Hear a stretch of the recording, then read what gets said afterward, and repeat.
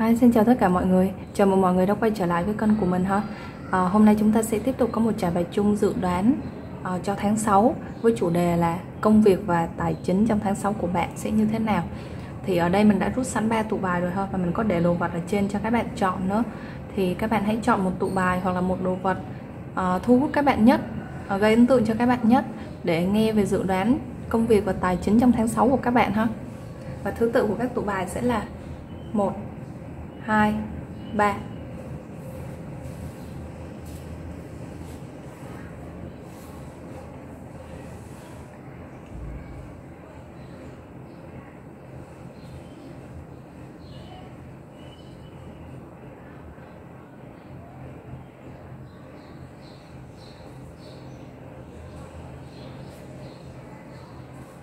Chúng ta sẽ vô trẻ bài hết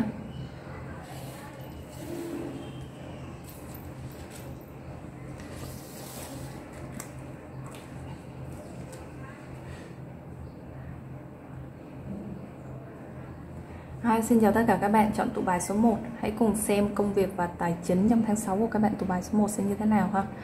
À, Tụ bài của các bạn tụ bài số 1 các bạn sẽ có Draw to value Tarot các bạn sẽ có 6 kiếm 8 gậy.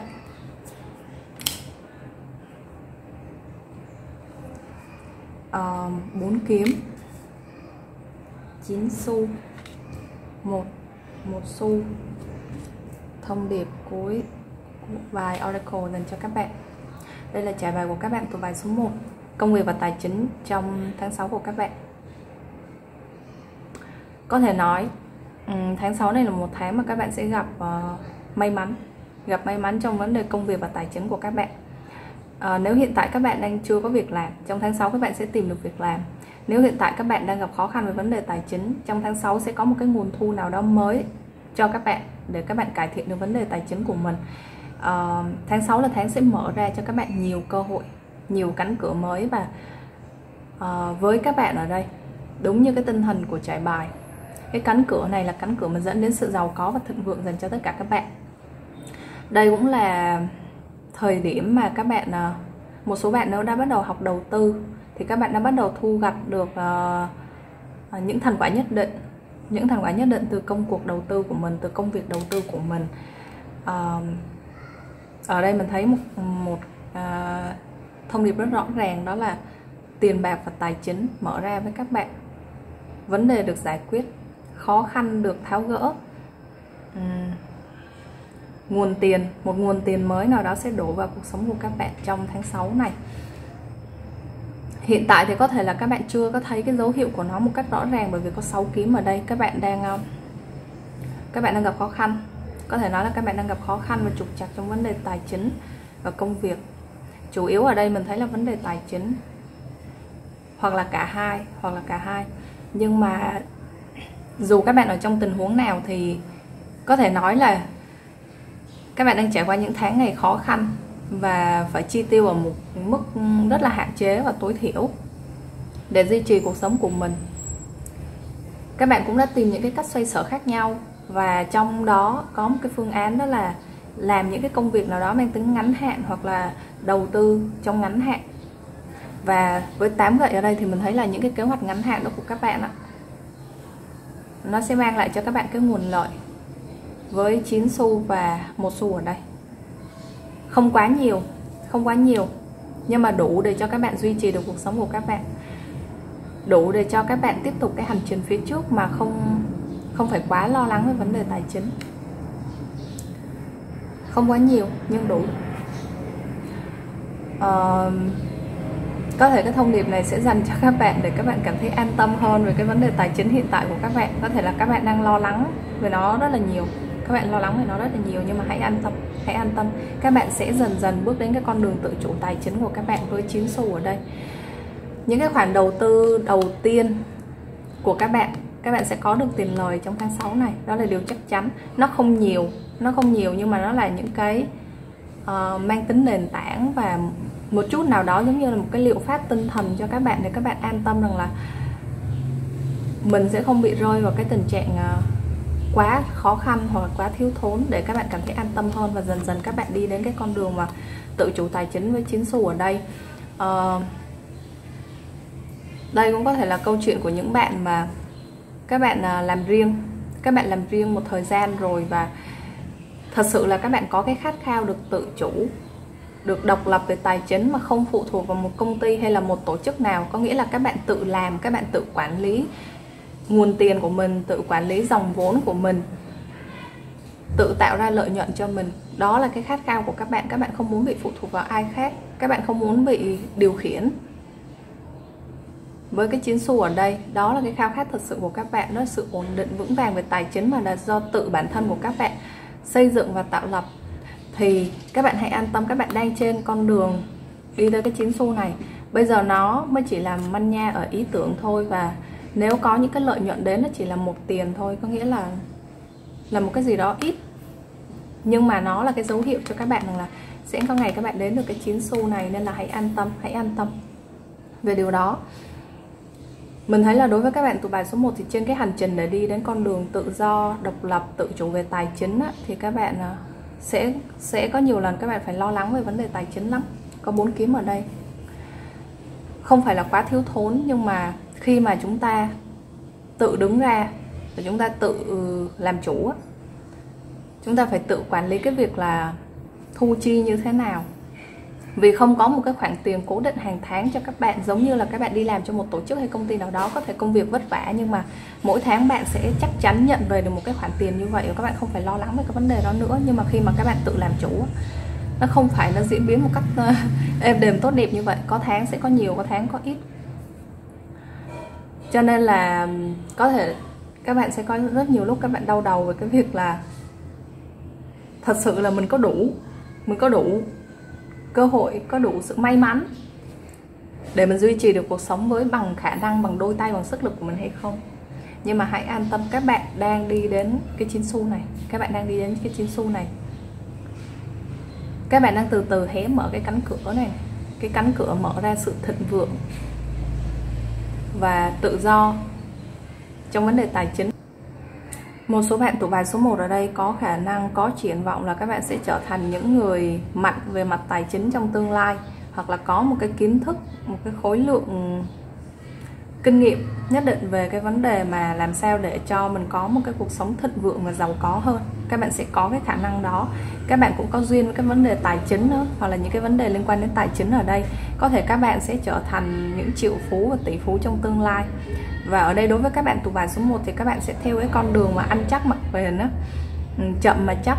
Cái con đường làm giàu cái con đường tiến thân con đường đi lên của các bạn sẽ theo cái phong cách chậm mà chắc từ từ từng bước một.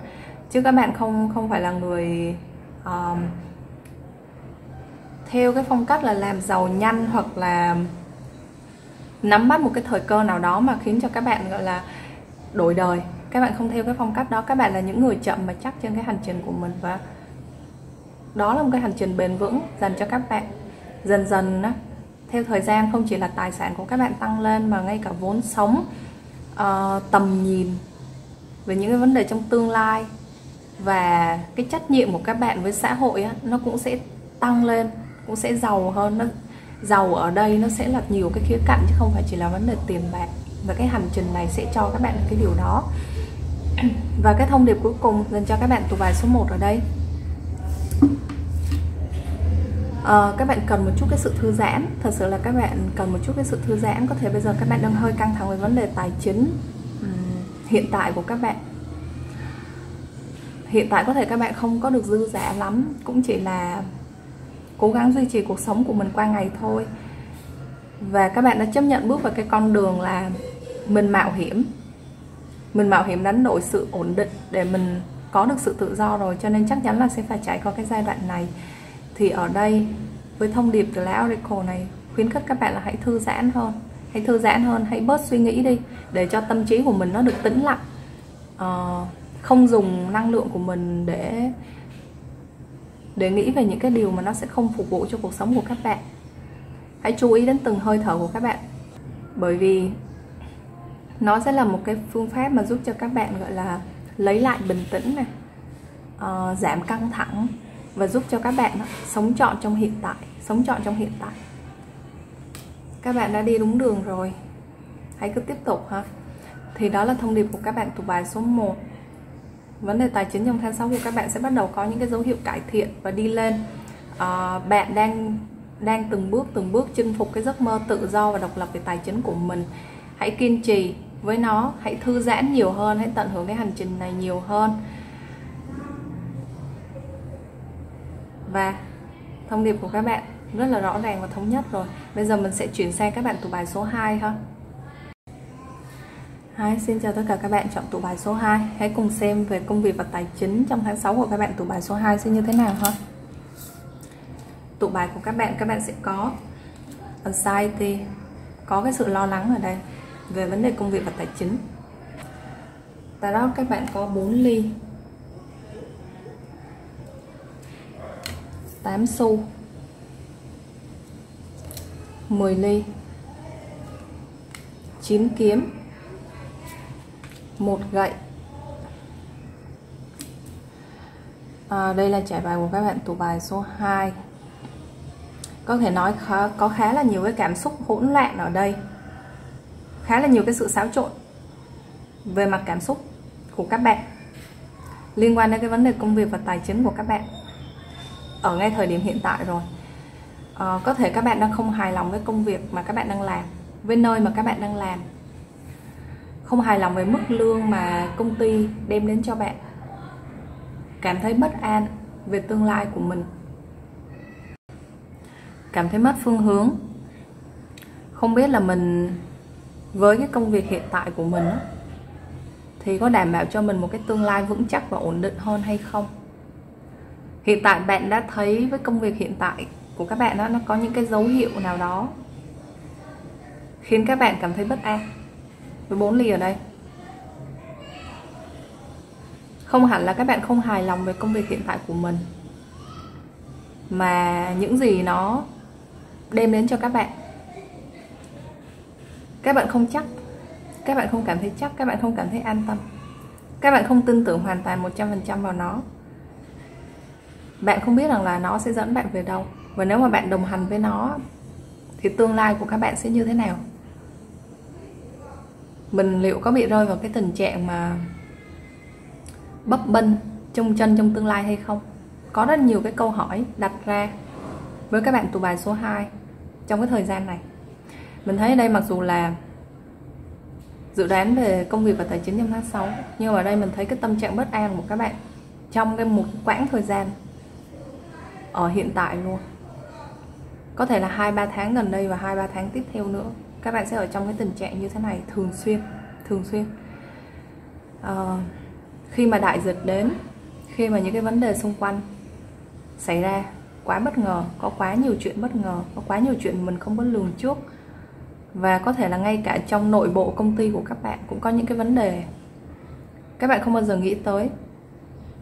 Một người nào đó có thể làm việc lâu năm ở công ty của các bạn nhưng mà họ bị sa thải họ bị sa thải một người nào đó đã cống hiến rất nhiều cho công ty của các bạn, nhưng mà cuối cùng nhận về chỉ là tiền bảo hiểm xã hội. Và không có gì cả. Họ lại rơi vào một cái tương lai trôi giạt vô định và không biết là sẽ đi về đâu. Và bạn cũng bắt đầu cảm thấy lo lắng cho tương lai của mình. Khi mà thấy, khi mà thấy xung quanh mình có những cái tình huống như thế giai đoạn này là một cái giai đoạn mà các bạn sẽ có nhiều trăn trở, có nhiều trăn trở về công việc và tài chính của các bạn. Các bạn sẽ có nhiều băn khoăn, các bạn sẽ đứng trước nhiều sự lựa chọn, tiếp tục hay là dừng lại? Làm chủ hay là làm cho người ta? Làm công việc này ở lĩnh vực này hay là làm một cái công việc khác đi, ở một lĩnh vực hoàn toàn khác? Có nhiều điều làm các bạn chăn trở ở đây có nhiều điều làm các bạn chăn trở. Ờ, với với các bạn tụ bài số 2 ở đây thì mình thấy các bạn cũng còn khá là trẻ thôi Chắc là các bạn dưới 25 Hầu như là các bạn sẽ dưới 25 Khi mà mọi thứ cũng chỉ mới vừa bắt đầu Và chưa có một cái gì vững vàng cả Bạn và bạn bè của các bạn Mới chỉ bắt đầu sự nghiệp của mình Những năm đầu tiên của sự nghiệp Và không có một cái gì Đảm bảo cho tương lai của các bạn cả. Có thể nói đây là một cái quãng thời gian mà các bạn phải nhìn nhận lại chặng hành trình của mình để có những cái bước đi nó phù hợp hơn cho tương lai. Nên là bạn sẽ trải qua cái cảm giác chăn trở, cảm giác lo âu, cảm giác băn khoăn, hoài nghi về thế giới xung quanh và hoài nghi cả chính bản thân mình luôn. Có thể là khi các bạn đi học, các bạn nghĩ rằng là với năng lực của các bạn đó các bạn có thể làm được rất là nhiều việc, làm được tất cả. Và không nghĩ rằng là sẽ có một lúc nào đó mọi người và cuộc sống ngoài kia sẽ từ chối mình. Nhưng mà bây giờ có thể là các bạn đã bắt đầu băn khoăn về cái vấn đề đó rồi. Thì đầu tiên, với trải bài của các bạn từ bài số 2 mình chia sẻ với các bạn, mình chia sẻ với các bạn. Những cái chăn trở, những lo lắng, cảm xúc, lo âu hiện tại của các bạn. Nó có lý do, nó có lý do nhưng mà không phải là chúng ta cố gắng phủ nhận nó, hay là chúng ta sẽ cố gắng, gọi là, tìm một cái phương án nào đó để mình không còn cảm thấy cái cảm xúc này nữa. Mà thật ra cái bản chất của nó là nó giúp các bạn đó nó giúp cho hành trình của các bạn đó giúp các bạn nhìn nhận lại là cái mục tiêu nào mới là quan trọng trong cuộc đời của các bạn. Nó không phải chỉ là công việc, không phải chỉ là mức lương nữa. Cái mục tiêu nào, mục tiêu, gọi là, cốt lõi nào, giá trị cốt lõi nào mà các bạn đang hướng tới và từ đó các bạn mới xây dựng một cái bản kế hoạch chi tiết hơn được. Hiện tại bây giờ các bạn chưa có cái, chưa có một cái hệ thống niềm tin thật sự vững vàng. Và các bạn cũng chưa biết cái giá trị cốt lõi mà mình hướng tới trong cuộc đời của mình là gì. Nên chắc chắn là khi đối diện với những cái sóng gió của cuộc sống, những cái điều bất ngờ xảy ra trong cuộc sống, các bạn sẽ bị hoang mang. Thì thời gian này là cái thời gian để các bạn xác định lại điều đó đấy. Ở đây đối với các bạn tuổi bài số 2 thì trong tháng 6 này mình thấy là sẽ có những lúc các bạn rất là nhiệt tình rất là hối hả trong công việc. Các bạn dùng hết 200% năng lượng để tận hiến cho công việc ở công ty. Nhưng mà cũng sẽ có những cái thời điểm á, các bạn trở nên rất là lười biếng. Khi mà cái cảm xúc lo âu nó xuất hiện trở lại các bạn lại trở nên rất là lười biếng với chín kiếm ở đây. Nếu các bạn không muốn làm gì hết các bạn không muốn bắt tay vào làm một cái gì hết các bạn muốn ngừng lại cái nhịp điệu này đi nhanh quá bạn theo nó không nổi. Thì mình thấy là đầu tiên về trong vấn đề công việc trong tháng 6 của, của các bạn tụ bài số 2 nó sẽ lên xuống như vậy. Lúc thì các bạn rất là nhiệt tình rất là hào hứng lúc thì các bạn lại trầm lắng hẳn đi. Các bạn không muốn làm gì cả các bạn muốn được nghỉ ngơi các bạn muốn giống như là bỏ trốn bỏ trốn khỏi công việc bỏ hết tất cả lại sau lưng để mình có cái khoảng thời gian một mình thôi thì mình thấy với các bạn từ bài số 2 ở đây á, có thể gần cuối tháng 6 các bạn sẽ dần dần dần dần các bạn tìm ra được cái giải pháp cho vấn đề của mình. Có một gậy ở đây. Có thể là các bạn sẽ phải trải qua những cái cảm xúc lên xuống này cho đến gần cuối tháng. Các bạn mới bắt đầu thấy những cái dấu hiệu, một cái tia hy vọng nào đó lóe lên. Là các bạn nên đi theo con đường như thế nào. Có thể là sau cái khoảng thời gian mà mà cảm xúc của các bạn lên xuống. Kéo theo những cái hành động cũng rất là lên xuống trong công việc như vậy á, thì các bạn bắt đầu dần dần hiểu hơn về bản thân của các bạn. Mình thấy ở đây các bạn ờ, sẽ có một cái đáp án nào đó liên quan đến 10 ly. Một đáp án nào đó liên quan đến 10 ly ở đây. Các bạn cần có khả năng cao, các bạn sẽ nhận ra rằng cái đáp án mà các bạn đang đi tìm á, nó nằm ở cái vấn đề cảm xúc một công việc nào đó mang đến cho mình cái cảm giác trọn vẹn. Không chỉ là ổn định nữa, mà nó phải mang đến cho mình một cái cảm giác trọn vẹn, an tâm. Đến mức mà cho dù á, với cái công việc đó nó có thăng trầm đến như thế nào đi chăng nữa, mình lúc nào cũng sẵn sàng sống với nó với cái tinh thần của 10 ly. Mình sẵn sàng đồng cam cộng khổ với nó giống như mình đồng cam cộng khổ với người vợ và người chồng của mình trong những cái giai đoạn khó khăn vậy sẽ có một cái câu trả lời nào đó liên quan đến 10 ly ở đây. Nếu các bạn rơi vào cái trường hợp này, dù các bạn làm công việc gì, dù các bạn làm chủ hay các bạn làm cho người ta, dù các bạn làm ở lĩnh vực nào, thì các bạn cũng phải có cái 10 ly này. Cho dù bất cứ chuyện gì xảy ra, mình vẫn sẵn sàng đồng hành với nó, với tất cả tình yêu thương và với một tinh thần chia ngọt sẻ mùi giống như là với một người bạn đời người chồng người vợ của mình vậy. Các bạn sẽ có cái đáp án cho cái việc này. Một cái đáp án lớn hơn lớn hơn. À, về tài chính chuyển qua về tài chính thì mình thấy là nhìn chung tài chính trong tháng 6 của các bạn nó vẫn ổn định nó vẫn ổn định. Với 8 xu ở đây thì nếu bạn nỗ lực nhiều bạn vẫn có được một cái mức tương đương như vậy thôi. Có thể đôi khi bạn cũng sẽ cảm thấy rằng là mình mình đang bị quấn theo đồng tiền á, mình kiệt sức vì mình kiếm tiền. Có nghĩa bây giờ mình đi làm không phải chỉ vì công việc nữa mà mình đi làm chỉ vì tiền thôi. Thì có thể đôi khi bạn cũng cảm thấy như vậy. Nhưng mà bạn biết rằng là khi mà bạn chưa có cái nền tảng về tài chính, mà mình cũng chưa có đủ dũng cảm để mình làm một cái gì đó khác đi, mình sẵn sàng sống lông bông để làm một cái gì đó khác đi giống như các bạn tụ bài số 1 thì các bạn vẫn phải duy trì nó thôi. Thì đôi khi hãy ờ, nếu mà chưa được ở bên cạnh người mình yêu thì hãy tập yêu những người bên cạnh mình đi. Và cái thông điệp cuối cùng dành cho các bạn. Với cái thông điệp trên lá bài này, có lẽ các bạn cũng được khuyến khích nhiều hơn về cái việc là lắng nghe những cái cảm xúc bên trong bản thân của các bạn. Hãy khám phá nó. Hãy đi đến tận cùng của nó. Đừng cố gắng né tránh hay là phớt lờ nó. Bạn uh, nên học cách mà gọi là ngồi tĩnh lặng và quan sát cảm xúc và suy nghĩ của các bạn nó đến và đi như thế nào nó có những cái gì xảy ra ở trong đó. Hoặc là bạn tập dành những khoảng thời gian để bạn suy ngẫm về một cái chuyện nào đấy trong cuộc sống. Như thế nó sẽ tốt nó tốt cho bản thân của các bạn và mình sẽ rèn luyện. Rèn luyện gọi là trí thông minh nội tâm của các bạn đó thì nó sẽ giúp cho các bạn sau này các bạn đưa ra những cái quyết định của các bạn nó sẽ dễ dàng hơn, chứ không còn chăn trở, không còn băn khoăn, không còn dằn vặt, không còn phải đi tìm người này, tìm người kia, tìm chuyên gia này, tìm chuyên gia kia để mình hỏi, để mình hỏi rằng mình nên làm như thế nào cho cuộc đời của mình. Họ là người đi trước, họ có thể góp ý cho các bạn, họ có thể hỗ trợ cho các bạn bằng tất cả tấm lòng và sự nhiệt huyết, nhưng mà cái người mà chịu trách nhiệm chính cho cuộc đời của các bạn thì vẫn chỉ là các bạn mà thôi. Vui buồn, sướng khổ gì đó thì vẫn là các bạn. Cho nên là các bạn hãy hãy lắng nghe thử. Chính bản thân mình xem. Thì đó là trải bài của các bạn thuộc bài số 2 ha. Trong tháng 6 này, về tài chính, cơ bản là ổn. Về công việc có thể là bạn sẽ trải qua nhiều cái cung bậc cảm xúc. Lúc lên, lúc xuống, lúc thì các bạn rất là nhiệt tình, lúc các bạn lại cảm thấy chán nản, mệt mỏi.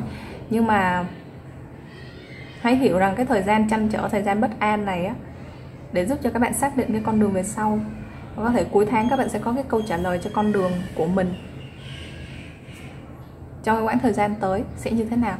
Thì đó là trải bài của các bạn tụ bài số 2 ha. Bây giờ mình sẽ chuyển sang các bạn tụ bài số 3 Hi, xin chào tất cả các bạn chọn tụ bài số 3 đây là trải bài của các bạn.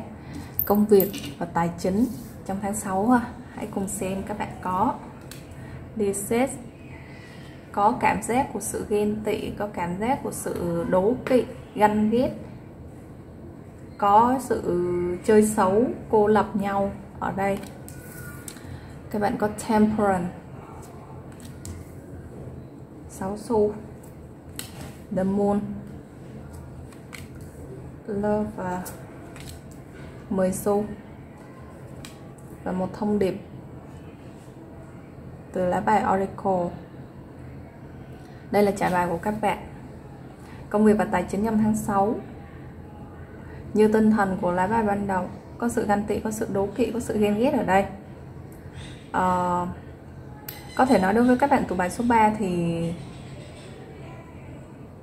trong môi trường làm việc trong môi trường làm việc tất cả các môi trường làm việc từ trước giờ đến giờ của các bạn các bạn đều là những cá nhân mà rất là cống hiến cho công việc cống hiến cho công việc chăm chỉ nỗ lực cố gắng với công việc của mình. Các bạn không phải là người mà thích đùn đẩy trách nhiệm hoặc là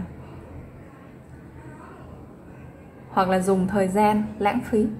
Dùng thời gian một cách lãng phí, cố gắng kéo dài công việc để để gọi là mình có nhiều cái khoảng thời gian để mình làm những cái công việc riêng của mình. Các bạn không có cái tinh thần như vậy. Các bạn nếu mà đã làm việc là làm cho nó đến nơi đến chốn luôn, làm cho nó có kết quả luôn và cái tinh thần tận hiến của các bạn đôi khi cũng làm cho những người khác họ cảm thấy hơi khó chịu, họ cảm thấy hơi khó chịu.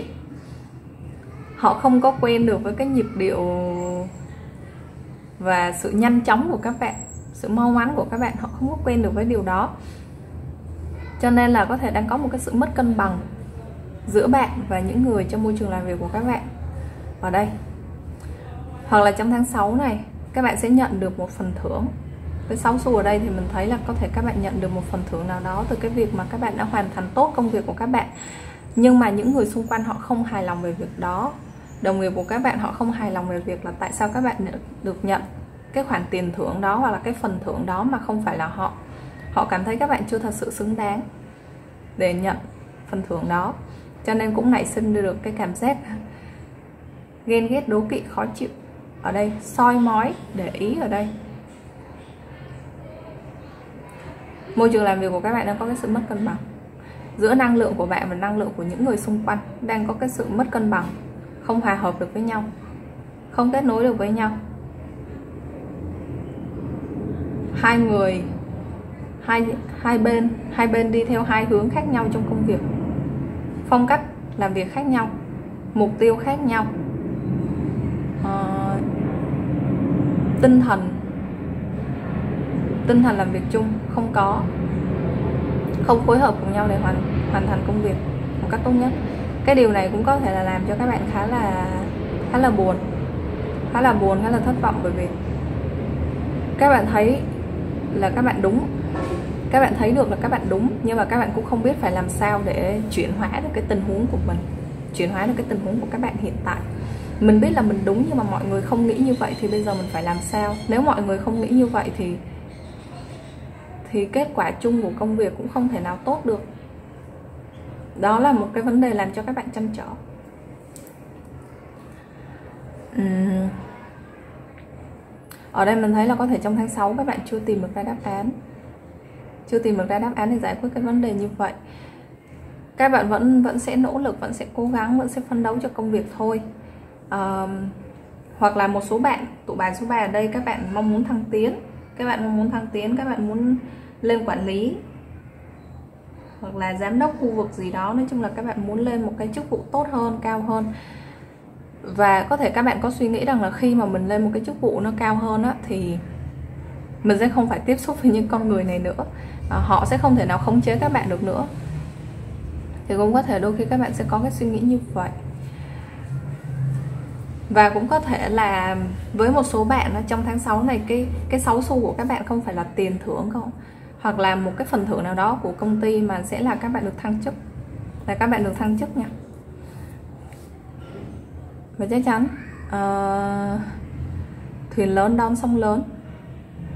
Các bạn có thể đối diện với một số cảm xúc uh, ác cảm và khó chịu của những người xung quanh những người mà họ không cảm thấy các bạn xứng đáng không hài lòng về điều đó. Um, với các bạn với các bạn tuổi bài số 3 ở đây thì mình thấy về công việc và về tài chính của các bạn nó không phải là cái vấn đề làm cho các bạn quá là đau đầu. Về công việc thì các bạn cũng có năng lực để giải quyết những cái vấn đề trong công việc của mình và các bạn cũng đã có những cái kinh nghiệm nhất định rồi cho nên là bất cứ một cái điều gì xảy ra bất cứ một cái điều gì đó xuất hiện các bạn đều có thể giải quyết được. Um, về tài chính thì các bạn có thể nói là ở đây các bạn có một cái mức tài chính cũng khá cũng khá tốt um, nếu các bạn đang đi làm có thể lương các bạn cũng khá là tốt. Còn nếu các bạn có thể là các bạn đang không đi làm đi các bạn đang trong cái giai đoạn tìm cái cơ hội mới chẳng hạn thì những cái gì mình mô tả lúc ban đầu nó sẽ là cái môi trường làm việc cũ của các bạn. Thì bây giờ cho dù các bạn đang tìm việc thì thì trong tháng 6 này các bạn cũng không phải đối diện với cái vấn đề khó khăn về mặt tài chính. Mình thấy là không có gặp cái vấn đề khó khăn về mặt tài chính. Mọi thứ trong cuộc sống của các bạn cũng khá là ổn nó cũng khá là ổn định và không có cái vấn đề gì khiến cho các bạn phải chi tiêu một cái khoản tiền quá quá là lớn cả. Về mặt tài chính các bạn cũng khá là vững rồi. Chỉ có điều là, một cái điều làm các bạn phải chăn trở, làm các bạn phải suy nghĩ làm các bạn, đôi khi các bạn bận lòng thôi, không tới mức chăn trở nhưng đôi khi cũng làm các bạn bận lòng, đó là làm sao mình có thể phối hợp với tất cả mọi người để tạo ra một cái hiệu quả tốt hơn. Tại vì nếu mà chỉ có một mình bản thân mình thì làm sao mạnh bằng tất cả mọi người phối hợp với nhau được. Nếu mà chỉ có một mình mình gắn tim á công ty trách nhiệm hữu hạn chỉ một mình bạn đó thì nó cũng đuối cho các bạn, cũng sẽ đuối cho các bạn và sẽ kéo tinh thần làm việc chung của mọi người xuống. Thì bạn không muốn điều đó, thì có thể đôi khi bạn cũng băn khoăn một chút về nó. Thì ở đây với lá bài Oracle cuối cùng, thì thông điệp dành cho các bạn đó là ngày hôm nay tôi sẽ chia sẻ sự giàu có, abundance, sự trù phú của tôi với một ai đó mà cần một món quà của của kindness. Cần một món quà của sự tử tế, cần một món quà của sự chân thành. Ở đây với thông điệp này mình thấy có hai có hai khía cạnh mà các bạn cần phải khai thác, cần phải gọi là chiêm nghiệm một chút trong khoảng thời gian tháng 6 này. Đầu tiên đó là việc các bạn chia sẻ hãy chia sẻ cái abundance của các bạn chia sẻ cái sự um, gọi là giàu có trù phú này. Không phải này là không phải là tiền bạc không phải chỉ là tiền bạc mà là cả kiến thức hay là kinh nghiệm hay là vốn sống hay cả những cái uh, liên quan đến cuộc sống cá nhân của các bạn. Giống như là các bạn mở lòng ra với tất cả mọi người vậy. Thì có thể hiện tại bây giờ mọi người ở bên ngoài đang nhìn vào các bạn với một cánh cửa đóng kín. Họ không hiểu gì về các bạn cả. Ờ, họ cảm thấy các bạn thâm trầm và bí hiểm. Họ không hòa hợp được. Thì có thể các bạn hãy mở lòng nhiều hơn, hãy chia sẻ về bản thân của mình nhiều hơn, hãy cởi mở hơn với mọi người. Cho dù người ta khác biệt các bạn, cho dù người ta khác biệt với các bạn thì hãy cởi mở mở lòng với họ. Còn họ có mở lòng với các bạn hay không đó là cái chuyện khác nha. Nhưng mà các bạn phải là cái người mở lòng trước bởi vì nếu các bạn là người muốn chuyển hóa cái tình huống của các bạn thì các bạn là người mở lòng trước. Còn nếu các bạn không muốn chuyển hóa các bạn muốn để yên nó như vậy thì không sao. Thì thì nó như vậy thôi. Thì không cần phải mở lòng không cần phải chia sẻ gì cả. Nhưng ở đây nếu mà các bạn thật sự muốn chuyển hóa cái tình huống này của các bạn và không muốn nó lặp lại thì đầu tiên hãy mở lòng trước. Mặc dù là có thể các bạn sẽ gặp phải tổn thương. Um, và với cái việc mà xe abundant ở đây mình thấy là có thể đôi khi các bạn nên nên làm những cái việc mà gọi là làm đẹp lòng người khác một chút. Ví dụ như các bạn giao lưu kết nối với mọi người bằng cách là mời mọi người đi uống cà phê hay là một, một cái hành động nào đó nó mang cái tính thiện chí và làm đẹp lòng người khác chẳng hạn vân vân. Có rất là nhiều cái khía cạnh có rất là nhiều cái gọi là các bạn có thể triển khai ra được từ cái ý này. Và cái thứ hai ở đây đó là bạn hãy chia sẻ nó với ai với những người mà họ cần một món quà của sự tử tế. Thì sau khi các bạn đã cởi mở, sau khi các bạn đã mở lòng rồi, thì các bạn sẽ phải có cái khâu chọn lọc. Khi các bạn đã sẵn sàng mở lòng để tất cả mọi người biết về các bạn và có thể làm tổn thương các bạn, thì các bạn cũng cần có một cái bước chọn lọc lại ai là cái người phù hợp với các bạn, ai là cái người thật sự phù hợp, ai là người mà họ có thể hỗ trợ các bạn. Đôi khi các bạn á không cần mở lòng thì đã có người hiểu các bạn rồi nhưng đôi khi các bạn cần phải mở lòng thì mới có người hiểu các bạn được. Thì ai là người đang cần một món quà của lòng tốt của sự tử tế đây? Có nghĩa là người đủ tử tế để có thể đón nhận những cái gì những cái giá trị mà các bạn chia sẻ với đúng cái tinh thần của nó. Um, các bạn sẽ tìm ra được những người bạn những người đồng hành những người hỗ trợ các bạn sớm thôi. Thì đó là trả bài của các bạn thuộc bài số 3 ha uhm. với các bạn tủ bài số 3 trong tháng 6 này nhìn chung về công việc và tài chính của các bạn đều ổn à, có thể có một số bạn sẽ chăn trở về các vấn đề mối quan hệ giữa bạn và những người xung quanh làm thế nào để cho nó tốt đẹp hơn nó hài hòa hơn để cho công việc của các bạn nó um, hiệu quả hơn và bạn cũng có một môi trường làm việc vui vẻ hơn thì các bạn có thể uh, chú ý về cái khía cạnh của sự chia sẻ và mình, gọi là, mình chọn lọc và kết nối với những người phù hợp với mình. Thì đó là thông điệp của các bạn thuộc bài số 3 ha. Thì mình đã làm xong trả bài của ngày hôm nay. Mình sẽ kết thúc trả bài đây ha. Cảm ơn tất cả các bạn đã lắng nghe.